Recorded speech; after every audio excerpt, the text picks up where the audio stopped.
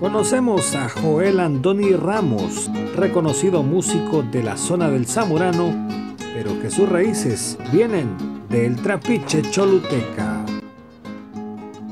49 años ya, ahorita en junio, el 11 de junio voy a cumplir 50 años con mucho orgullo.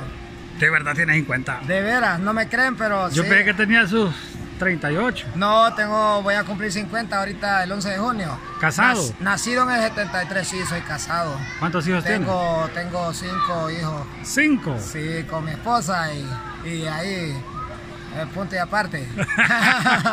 que yo viví en el Capulín de Trapiche. Ah. Allá estuve viviendo eh, mi niñez. Allá pasé la primaria en la, en la escuela eh, la Cristóbal en Colón. la Cristóbal Colón. Ahí estuve, ahí saqué la primaria. Yo viví en el Capulín. Sí, mi abuela Epifania Rodas.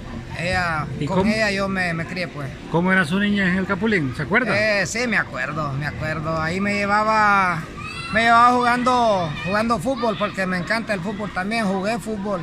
Ah, y entonces, eh, eh, ahí en la Rampla, por ahí vivió. Bueno, de la rampla, dice que de la rampla para arriba el Capulín. Sí, sí. Entonces ahí me crié y me llevaba jugando en, en los. Ahí debajo de, una palizada de mango que había de, sí, sí. de Dolores, algo así.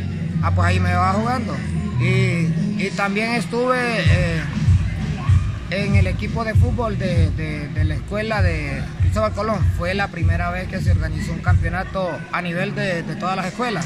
Mm. Eh, me recuerdo que la Cristóbal Colón fuimos los campeones. Primer campeonato y fuimos campeones. ¿En qué año estamos hablando de eso? Eh, yo no me acuerdo.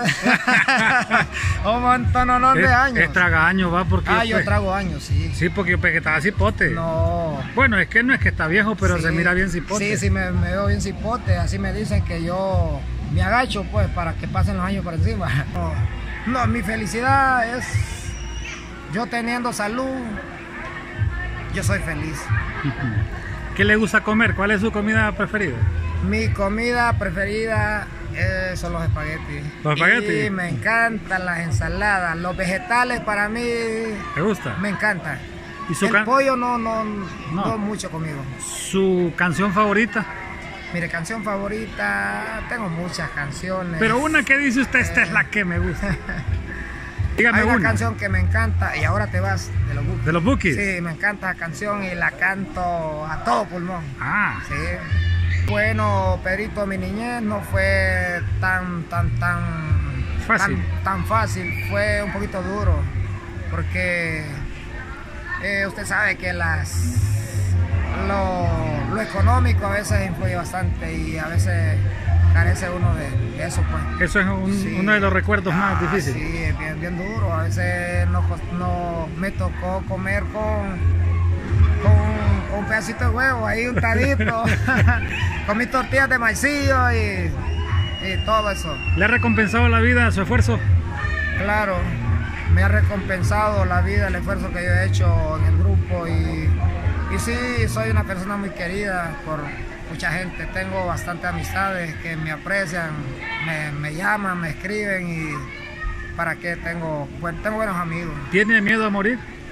No, porque es algo muy natural. Eso es algo de que, que nos va a tocar a todos, pues. ¿Está consciente que en cualquier momento? en cualquier momento.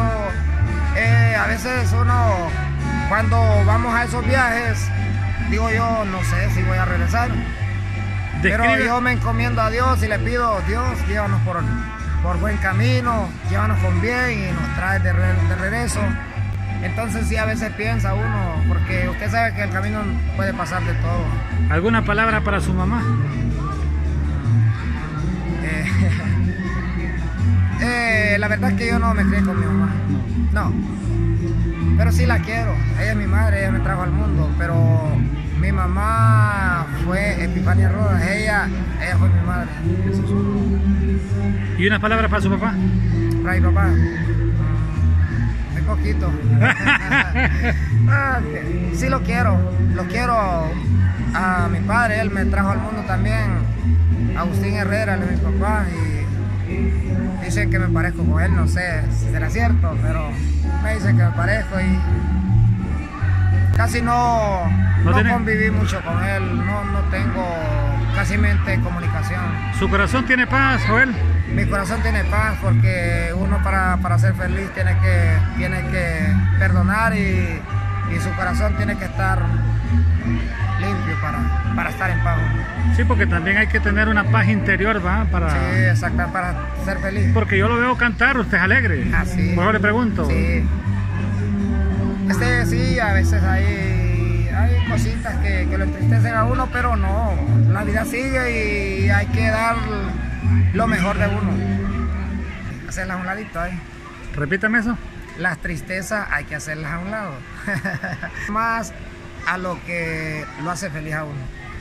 Las tristezas hay que dejarlas a un lado. Me despido con esas palabras de Joel Andoni Ramos en esta primera entrega, pendiente de otra segunda, en donde conoceremos su pasión por la música, la historia del conjunto Los Chicanos del Zamorano, entre otras cosas. Gracias.